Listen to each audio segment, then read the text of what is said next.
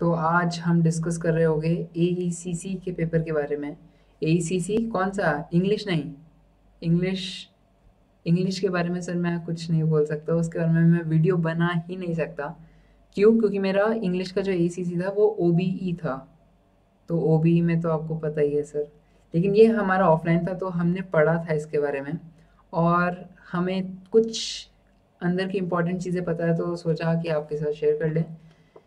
तो ये ए e कौन सा वाला? E V S environmental science ACC की बात कर रहे हैं। फ़र्स्ट ईयर डी यू मैं रामानुजन कॉलेज से हूँ ऑनेस्टली बताऊँ तो। तो ये हमारा सेकेंड सेमेस्टर में था। ऐसा होता है ना कि ए सी सी फ़र्स्ट सेम में जिन बच्चों का होता है, वो चेंज हो जाता है इंटरलिंकेबल होता है। कि मतलब आधे कॉलेज को फ़र्स्ट सेमेस्टर में इंग्लिश का एसीसी दे दो और बाकी आधे बच्चों को, आधे कोर्सेज वालों को ई e दे दो। और फिर सेकेंड सेमेस्टर में ये चेंज हो जाएगा। तो एसीसी के पेपर के बारे में बात करेंगे। जो भी इम्पोर्टेंट टॉपिक्स है पेपर पॉइंट ऑफ़ व्यू के हिसाब से वो डिस्कस करेंगे। जब मैं भी, हमारी क्लास के बच्चे भी गए थे कि, मैम प्लीज़ बता दो ना। कि मतलब मैम, वो कौन से टॉपिक है कि बस इसको तैयार कर लेना तो पास हो जाएँगे। तो मैम की तरफ़ से भी वही आंसर आया। बेटा, सब कुछ इम्पोर्टेंट है। और हमारी हँसी निकली, लेकिन नेगेटिव सेंस में, वो सर का सर मैम, क्या करना है भाई, बताओ यार अब, मैम प्लीज़ बता दो ना। तो अब हमने पेपर दे दिया अच्छा गया पेपर पास तो हो ही जाएगा भाई। फिर फेल नहीं, कोई टीचर फेल नहीं कर सकता हमें। इतनी गारंटी तो है, इतना भरोसा है भाई। इतना कंटेंट हमने भी लिखा है। तो आज हम, यही है क्या आपकी बुक देखो भाई, हम, मैं तो रामानुजन कॉलेज से हूँ, अगर आपको नेहा मैम पढ़ाती है, नेहा यादव मैम तो उन्हें, उन्होंने ये बुक हमें, हमारे बैच को यही रिकमेंड की थी, आपका पता नहीं चेंज हो गया होगा। तो चलो यार डिस्कस करते हैं इंपॉर्टेंट टॉपिक्स के बारे में। तो मैंने यहाँ पे व्हाट्सएप पे, हमारा ओरल टेस्ट हुआ था तो ओरल टेस्ट में हमने जितने भी बच्चों से जितने भी क्वेश्चन पूछे ना, वो सारे टॉपिक्स कीवर्ड्स हमने व्हाट्सएप पे अपने आप को व्हाट्सएप कर लिए। और वो जो पूरी लिस्ट है, लंबी चौड़ी लिस्ट आप देख सकते हो भाई साहब। ये सारे वो टॉपिक्स है। दिखाई दे रहा है आपको? हाँ दे रहा है। लेकिन क्लियर नहीं होता। तो ये लंबी चौड़ी जो लिस्ट है भाई साहब, और ये आपके साथ मैं शेयर करूँगा। ठीक है? ये नीचे क्या कहते हैं? डिस्क्रिप्शन में भी मैं डाल दूँगा। आप लैपटॉप पे देख रहे होगे तो ऑल टैब में व्हाट्सअप खोल के अपने आप को या अपने ग्रुप के अनऑफिशियल ग्रुप में इसे कॉपी पेस्ट मार देना। ठीक है तो स्टार्ट करते हैं। सबसे इम्पोर्टेंट टॉपिक्स जिसके ऊपर डेफिनेशन आ सकती है कॉन्सेप्ट आ सकते हैं, और जो टीचर इस पे मतलब पेपर बना रहा है ईवीएस का एसीसी का, उसकी प्रायोरिटी भी सबसे ज़्यादा इन्हीं टॉपिक्स पर होगी। Bio magnification bio accumulation an international union of conservation of nature endemic species क्या होती है? इंडेंजर्ड स्पीसीज़ क्या होती है? एक्जॉटिक स्पीसीज़ क्या होती है? तो ये जितनी भी तरह तरह की स्पीसीज़ होती है ना तो इंडेंजर्ड कौन सी स्पीसीज़ होती है? उन सब के एग्जाम्पल्स वो किस जगह पे कौन सी स्पीसीज इंडेंजर्ड है? आ, कौन सी रिसेंटली एक्सटिंक्टेड कौन कौन सी हुई है? ये सब आपको याद रखना पड़ेगा। बहुत रेक्टिफिकेशन है यार इसमें। हमें भी बहुत दिक्कत हुई थी। अब ना यार वो मिलेगा नहीं अब। चलो मैं ऐसे ही बता देता हूँ। तभी इसमें फ़ोन में एक जगह पे है। सारे ठीक है? लैंडफिल्स किस तरीके से वेस्ट मैनेजमेंट किया जा रहा है। म्यूनिसिपल कॉरपोरेशन की तरफ़ से भी और ओवरऑल वेस्ट का सेग्रीगेशन कैसे हो रहा है? और लैंडफिल्स के बारे में बेसिकली की कीवर्ड इज़ लैंडफिल लैंडफिल के ऊपर क्वेश्चन आ सकता है। Point sources of water pollution important है पॉइंट सोर्सेज ये पी वाई क्यू में भी था। पिछले दस साल के P Y Q previous year कर लेना। मेजॉरिटी ऑफ़ द क्वेश्चन जो है वो वही से आएगा। उन्हीं टॉपिक से ही आएगा। ये आपको लाइब्रेरी से मिल जाएँगे। और टीचर भी शेयर कर लेंगे आपके साथ। ठीक है, मैं देखता हूँ। अगर गूगल ड्राइव का लिंक होगा तो नीचे डिस्क्रिप्शन में मैं सेंड कर दूँगा। लेकिन गूगल ड्राइव मेरी नहीं होगी। वो शायद किसी और की है जो हम तक शेयर हुई थी पेपर में पढ़ने से। हमने भी उससे ही पढ़ा था। तो वो कभी भी ख़त्म हो सकती है। मैं ऐसे गारंटी नहीं ले सकता क्योंकि मेरी ड्राइव नहीं है वो। सो so सॉरी लेकिन क्या पता है एक साल, दो साल, अगर वो मैम की हुई तब तो वो चलेगी काफ़ी देर दिनों तक, सालों तक। टाइप ऑफ़ फॉरेस्ट इंपॉर्टेंट है। टाइप ऑफ़ फॉरेस्ट तो भाई बहुत इंपॉर्टेंट है। इसका लेके चलना, हमारे पेपर में भी आता है ये type of forest forest ecosystem important है।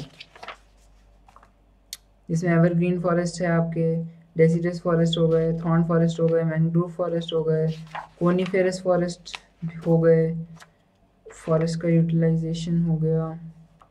Type of forest is important पाँच तरीके के फॉरेस्ट होते हैं। किस तरीके से वाटर फॉरेस्ट जो है वो डिस्ट्रॉय हो रहा है, फिर किस तरीके से हम इसे कंजर्व कर सकते हैं। टाइप ऑफ़ इकोसिस्टम भी बहुत इंपॉर्टेंट है। टाइप ऑफ़ फॉरेस्ट तो हमने कर लिया। टाइप ऑफ़ इकोसिस्टम भी, एक तो फॉरेस्ट इकोसिस्टम एक ग्रासलैंड इकोसिस्टम हो गया आपका, एक आपका डेजर्ट इकोसिस्टम हो गया, एक हो गया एक्वेटिक इकोसिस्टम मेराइन इकोसिस्टम ले, नहीं है तो इसके पार्ट्स हो गए। इस्टूरी इकोसिस्टम ये सारे इकोसिस्टम पाँच इकोसिस्टम है, पाँच फॉरेस्ट के इकोसिस्टम के भी टाइप्स हैं। तो ये सब आपको आने चाहिए, काफ़ी इंपॉर्टेंट है ना? फॉरेस्ट वाला तो बहुत इंपॉर्टेंट है। Vermi composting what is vermi composting its definition हाँ इसमें और पूछा टाइप ऑफ़ एक्वेटिक इकोसिस्टम जैसे बताया था, बहुत इंपॉर्टेंट है। एसिड रेन एसिड रेन के कॉजेज क्या है? वही सल्फ़र डाइऑक्साइड नाइट्रोजन डाइऑक्साइड किस तरीके से? इसके इफ़ेक्ट्स क्या है? हमारे ऊपर एनिमल्स के ऊपर वाइल्ड लाइफ के ऊपर इकोसिस्टम के ऊपर मोनूमेंट्स पे बिल्डिंग्स पे, ये सब आते ही हो गए आपको। ग्रीन हाउस इफ़ेक्ट की डेफिनेशन और थोड़ा एक्सप्लेन तो कर कर ही देना इसे। तो चार पाँच लाइन आना चाहिए आपको। Solid waste management how to manage waste हो गया फॉरेस्ट इकोसिस्टम के बेनिफिट्स हो गए थ्रेट्स टू बायोडाइवर्सिटी बायोडाइवर सब डेफिनेशन ना सबकी याद कर लेना। सबकी मतलब सबकी क्या मतलब जो भी डिस्क्रिप्शन में मैं टॉपिक्स लिखूँगा हो गए वो सबसे इंपॉर्टेंट हो गए उनके तो कर ही लेना डेफिनेशंस और कुछ भी, कोई भी आंसर कोई भी आंसर लिखो स्टार्ट करो तो डेफिनेशन से स्टार्ट करना, चाहे पूछा हो, चाहे ना पूछा हो। ये एक अच्छा इंप्रेशन देता है जो चेक करता है। कीवर्ड्स याद रखना सारे। डेट्स बहुत इंपॉर्टेंट है। अभी आगे चले गए लॉज आएँगे ना सारे। पॉल्यूशन का एयर का फॉरेस्ट का, बहुत इंपॉर्टेंट है भाई साहब। हमें बोला गया था कि एक डेट पक्का गारंटीड आएगी और हमने इतना रट्टा लगाया और पेपर में आई नहीं, एक भी डेट नहीं आई पेपर में। लेकिन आपको मैं बोलूँगा कि एक डेट पक्का एक नंबर की आएगी तो उसे याद रखना आप। मेरे को बोलना पड़ेगा सो सॉरी क्योंकि पी वाई क्यू में है पी वाई क्यू में डेट पूछे गई है। तो चलो इसी से स्टार्ट करते हैं, एक डेट पक्का आएगी आएगी कि, और ऐसे भी आ सकते हैं। वर्ल्ड्स वेटलैंड डे कब होता है वर्ल्ड्स इन्वायरमेंट डे कब होता है वर्ल्ड्स अर्थ डे कब होता है ओजोन डे कब होता है। तो ये सब आपको आने चाहिए। Basic Van Mahotsav day basic general knowledge और पॉल्यूशन एक आएगा ही आएगा। एयर पॉल्यूशन आए थर्मल पॉल्यूशन आए वाटर पॉल्यूशन आए सॉइल पॉल्यूशन आए, किसी भी तरीके का पॉल्यूशन आए, उसके कॉज उसके सोर्स उसके इम्पैक्ट उसे कैसे प्रिवेंट किया जा सकता है, कैसे कंट्रोल किया जा सकता है क्या क्या सॉल्यूशंस है, क्या, कैसे मैनेज किया जा सकता है तो ये ऐसे ऐसे पार्ट में करके पंद्रह नंबर का क्वेश्चन आराम से बन सकता है। तो इसे आपको अच्छे से करना है। Threats to water ecosystem food chain और फ़ूड वेव इंपॉर्टेंट है। दोनों में डिफरेंस हो गया आपका। और वाइल्ड लाइफ कंजर्वेशन वेज किस किस तरीके से हम वाइल्ड लाइफ कंजर्व कर सकते हैं। इन सेतु और एक्स सेतु इंपॉर्टेंट है। उसका डिफरेंस आपको आना चाहिए। Situ ex situ conservation invasive and exotic species वही स्पीसीज तो सारे कर लेना, जो भी हो। इन्वेजिव हो इंडेंजर्ड हो एक्जॉटिक हो एक्सटिंक्ट हो। ये क्या होता है मतलब? इनकी डेफिनेशन प्रीवियस मतलब कुछ साल में कौन कौन से एक्सटिंक्ट हुए हैं? इंडेंजर्ड है तो इंडिया के किस पार्ट में कौन सी स्पीसीज इंडेंजर्ड मतलब पाई जाती है? इस कैटेगरी के अंडर आई जाती है, वो आपको पता होना चाहिए। मीना वाटर डिज़ीज़, जो मर्क्यूरी एकोमलेशन से हुआ था जापान की डिज़ीज़ है। फ़िश खाने से लोगों को बायो मैग्निफिकेशन की वजह से हुई थी। बी ओ डी इंपॉर्टेंट है biological oxygen demand B O D hotspot biodiversity hotspot की वर्ल्ड के इस पार्ट में सिर्फ़ यही स्पीसीज पाई जाती है तो उसके बारे में कुछ पता होना चाहिए आपको तो वो भी कंटेंट याद करके जाना क्या लिखोगे अगर आ जाता है इन केस तो।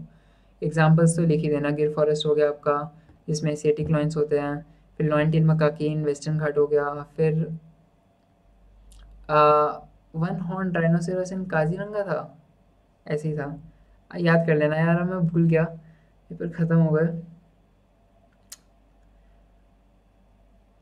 Type of evergreen forest type of सारे पॉल्यूशन याद कर लेना इट्स कॉजेट्स इस इफ़ेक्ट सॉल्यूशन हो गया है। ट्रॉपिकल लेवल की डेफिनेशन ट्रॉपिकल लेवल क्या होते हैं? और उसमें सबसे ज़्यादा एनर्जी किसको मिलती है? वो टेन परसेंट लॉ जो हमने टेन में टेंथ क्लास में पढ़ा था। फिर बायो मैग्नीफिकेशन बायो एकोमिलेशन इससे आप कैसे लिंक कर सकते हो? ये एनर्जी पिरामिड्स आ सकते हैं। Energy pyramids inverted pyramids over exploitation के एग्जांपल आ सकते हैं। फॉरेस्ट एक्ट पूछा है यहाँ पे। डन है डन है। डेफिनेशन ऑफ़ पॉल्यूशन है। यूट्रोफिकेशन इंपॉर्टेंट है कि किस तरीके से जो भी फर्टिलाइजर्स है वो रन ऑफ़ वाटर के साथ फार्म से आ जाते हैं और रिवर वाटर के ऊपर वो जमने शुरू हो जाते हैं, एक लेयर बिछ जाती है, जिसकी वजह से एक्सेसिव न्यूट्रिएंट्स अवेलेबल होते हैं रिवर में रिवर वाटर फ्रेश वाटर में। उसकी वजह से एल्गल एल्गी की ग्रोथ होने लगती है। क्यों? क्योंकि न्यूट्रिएंट्स है, अब तो उसकी ग्रोथ एक्सेस में होगी। तो एल्गी की ग्रोथ होगी तो जो भी वाटर है डिजॉल्व ऑक्सीजन है, उस वाटर बॉडी में वो कम होता जाएगा। वो कम होता जाएगा एक्विटिक स्पीसीज मरने लगेगी। तो इस तरीके से इफ़ेक्ट आएगा। तो यूट्रोफिकेशन इंपॉर्टेंट है। बाकी tropical level ground level oxygen bioaccumulation biomagnification biosphere reserves difference between wild life sanctuary and national park important है। बहुत इंपॉर्टेंट है।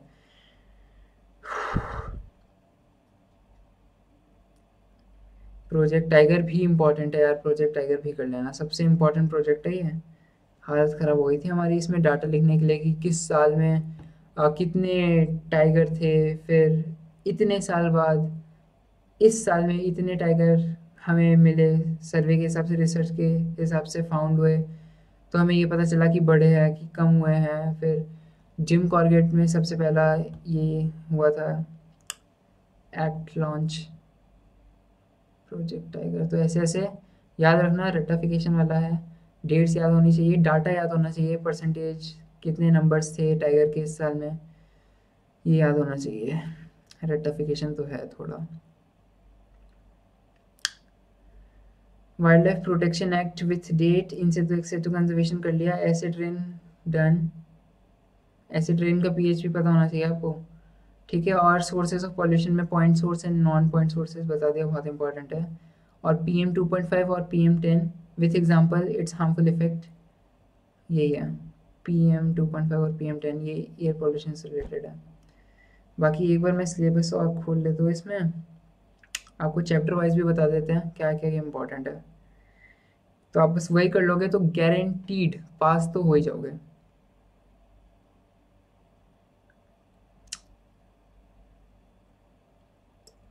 मल्टी डिसिप्लिनरी नेचर बहुत इंपॉर्टेंट है। पी वाई क्यू में आपको दिखेगा ही दिखेगा। हर दो से तीन साल बाद ये रिपीट हो जाता है, जिसमें आपको कुछ नहीं करना, आपको बस ये दिखाना है कि इन्वायरमेंट बाकी अदर सब्जेक्ट्स से किस तरीके से लिंक्ड है।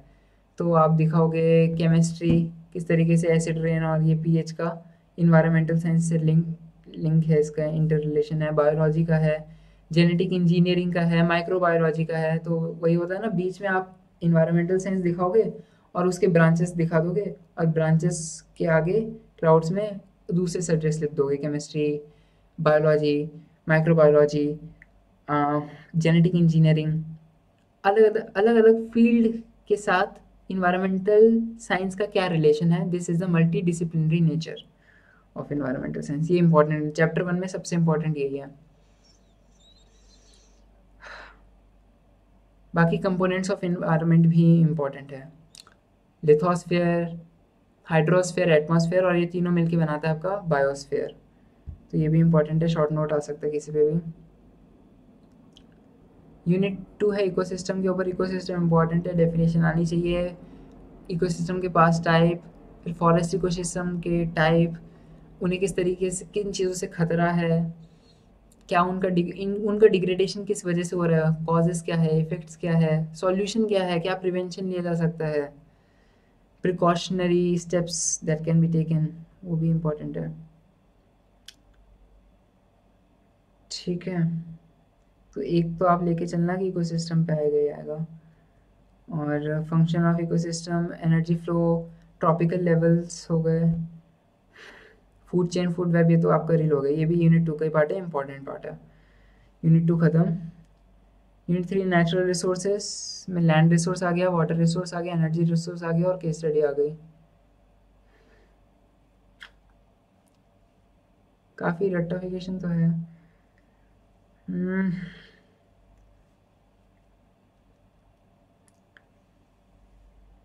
देखो भाई पास तो सब हो जाएँगे। और सच बताओ तो मतलब जो आपके एग्ज़ाम हो गए तो अलग अलग कोर्स के भी बच्चे क्यों ना हो? ए सी सी तो सबका सेम ही होगा। आधे कॉलेज का सेम होगा। तो वॉशरूम में समझ गया ना? वॉशरूम में चीटिंग होती है। एक थर्ड ईयर के भैया भी आ गए थे जब मेरा पेपर था, मैं वॉशरूम गया था। तो उनके पास फ़ोन था। और इसके आगे मैं कुछ नहीं बोलूँगा। हाँ उनके पास फ़ोन था, ठीक है भाई। थर्ड ईयर के भैया थे, उन्हें वो भी आ गए बाथरूम में। वाटर कोइंसिडेंस उसके आगे मैं मैं कुछ बोलूँगा नहीं वीडियो में ना? फ़ोन था, वो आए, चले गए। फ़ोन फ़ोन के साथ आए, फ़ोन के साथ चले गए हाँ। Unit four definition of biodiversity India as a mega biodiversity nation ये इंपॉर्टेंट है। कि ऐसी क्या चीज़ है जो इंडिया को मेगा बायोडाइवर्सिटी नेशन बनाती है?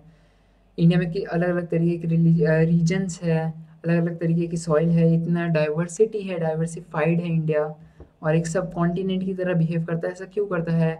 आपको सारे इसमें डाटाज याद होने चाहिए कि ninety one thousand species of fauna था फ्लोरा था। फ्लोरा है, नहीं फाउना है, और फोर्टी सेवन थाउज़ेंड समथिंग करके फोर्टी एट थाउज़ेंड समथिंग करके फ्लोरा है। ऐसे ही यार, मैं भूल गया। सारे डाटा आपको याद होने चाहिए।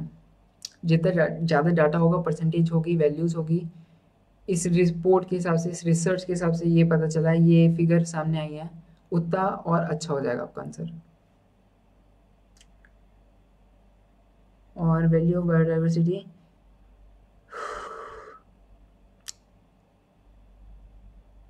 हो जाएगा, आसान है तो। फिर थ्रेट्स टू बायोडाइवर्सिटी क्या है? क्या क्या चीज़ें हैबिटेट लॉस करवा रही है? Degradation fragmentation poaching of wild life किस तरीके से मारा जा रहा है? हंटिंग हो रहा है। मैन वाइल्ड लाइफ कॉन्फ्लिक्ट्स हो गया। फिर इससे रिलेटेड क्या क्या प्रोजेक्ट्स लाए गए, उन्हें कंजर्व करने के लिए प्रोटेक्ट करने के लिए, वो भी हो गए। जैसे कि प्रोजेक्ट टाइगर इसी का ही है, फिर एक वल्चर करके भी है। वल्चर ब्रीडिंग प्रोग्राम जो 2004 में स्टार्ट हुआ था। तो Silent Valley movement save Western Ghat movement ये भी इसी के पार्ट है। तो यार, ये तो मैं बोल नहीं सकता कि कौन सा आएगा, लेकिन इन सब में प्रोजेक्ट टाइगर सबसे इंपॉर्टेंट है। क्योंकि वो सबसे ज़्यादा बार रिपीट हुआ है प्रीवियस ईयर क्वेश्चन बैंक में। आप भी देखोगे तो आपको पता चल जाएगा। ठीक है यूनिट फाइव इन्वायरमेंटल पॉल्यूशन एक पॉल्यूशन गारंटीड आएगा ही आएगा।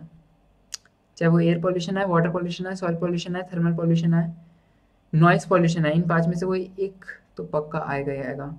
फिर उनके कॉज क्या है? उनके इफ़ेक्ट क्या है? उनके कंट्रोल क्या है? उनके प्राइमरी और सेकेंडरी पॉल्यूटेंट्स क्या है? यही है। फिर एक न्यूक्लियर पॉल्यूशन भी है इम्पोर्टेंट न्यूक्लियर हजार्डस किस तरीके से? हिरोशिमा नागासाकी का वो nuclear bomb blast hazards to human with those nuclear waste फिर पॉल्यूशन की केस स्टडीज़ भी इंपॉर्टेंट है। गंगा एक्शन प्लान इंपॉर्टेंट है। ये ए सी सी है तो करंट अफेयर्स आ सकते हैं। नो डाउट करंट अफेयर आ सकते हैं। और क्या चल रहा है आजकल? एट प्रेजेंट मैं बता नहीं सकता। क्योंकि आप अगले साल हो तो उस एक साल में कितने सारे कोई नया प्रोजेक्ट आ जाए, कोई नया अभियान आ जाए, जैसे स्वच्छ भारत अभियान का भी आ रखा था एक बार शायद पी वाई क्यू में, जहाँ तक याद है। और दीदी ने ही बोला था, एक हमारी है सीनियर दीदी इन्वायरमेंटल साइंस की, उनसे भी जब पूछा कि ए में दीदी कुछ गाइड करो तो उनने भी एक ही लाइन यही बोली थी कि प्रिपेयर रहना कि करेंट अफेयर्स आएँगे। और किस तरीके से आप इसे प्रैक्टिकली अप्लाई कर सकते हो? तो ये थ्योरेटिकल पे थ्योरेटिकल पेपर होगा, लेकिन उसमें भी प्रैक्टिकल चीज़ें पूछी जाएगी। ठीक है? ऑड इवन रूल आ गया, स्वच्छ भारत अभियान हो गया पॉल्यूशन की केस स्टडीज़ हो गई, गंगा एक्शन प्लान हो गया, क्या किया जा रहा है गंगा को बचाने के लिए, उसके पानी को और प्योरीफाई करने के लिए, पहले जैसा लाने के लिए। फिर प्लास्टिक वेस्ट मैनेजमेंट हो गया, भोपाल गैस ट्रेजिडी हो गई, ये सब आपको पता होनी चाहिए। यूनिट फाइव एक पॉल्यूशन का आ गया? यूनिट सिक्स सेकेंड एक मिनट सेकेंड लास्ट है। सेकेंड लास्ट टॉपिक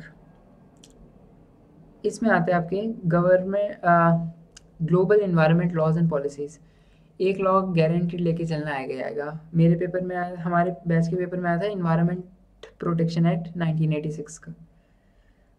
तो ये आया था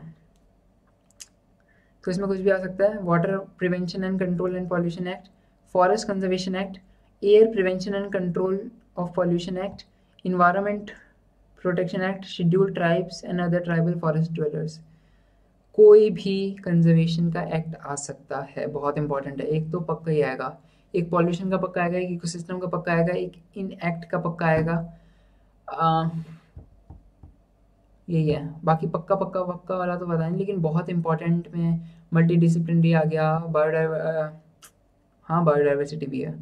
Why India is a biodiversity nation और बायो एकोमुलेशन आ गया बायो मैग्निफिकेशन आ गया बीओडी आ गया। आपके सारे अलग अलग तरीके की स्पीसीज़ की डेफिनेशन और उनके एग्जांपल्स आ गए। एक्जॉटिक एंडेमिक इंडेंजर्ड एक्सटिंक्ट ठीक है, ये हो गया। बाकी डिफ्रेंशिएशन डिफरेंस बिटवीन इंपॉर्टेंट है, आया था पेपर में। आता है डिफरेंस बिटवीन आता है। तो difference between wildlife sanctuary and national park in situ species and ex situ species of conservation ये इंपॉर्टेंट है। रीसेटलमेंट और रिहेबिलेशन भी इंपॉर्टेंट है कि डैम कंस्ट्रक्शन से क्या पॉजिटिव चीज़ें हैं, क्या नेगेटिव चीज़ें हैं। और जो नेगेटिव चीज़ें हैं, उसमें रिहेबिलेशन लोगों को दिया नहीं जाता, जिसकी वजह से एक नर्मदा बचाओ आंदोलन इससे रिलेटेड है। तो एग्ज़ाम्पल दे दे रहा हूँ, उससे आंसर ब्यूटीफाई हो जाएगा केस स्टडीज़ देनी है, क्योंकि प्रैक्टिकल बेस्ड है ए है। ठीक है? बाकी आंसर तो आपके रिपीट हो गए कुछ। प्रोटेक्शन के कंजर्वेशन के।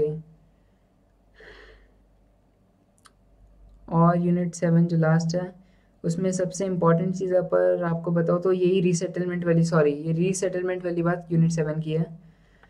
मोमेंट्स की बात की जाए, चिपकू आंदोलन चिपकू आंदोलन साइलेंट वैली मूवमेंट नहीं यार मूवमेंट सारे इंपॉर्टेंट है इसमें, मैं ऐसे नाम नहीं ले सकता। सारे इंपॉर्टेंट है, सबके नाम लेने पड़ेंगे। चिपकू आंदोलन आपीकू मूवमेंट साइलेंट वैली और बिश्नोई ऑफ़ राजस्थान और नर्मदा बचाओ आंदोलन। कोई भी आ सकता है।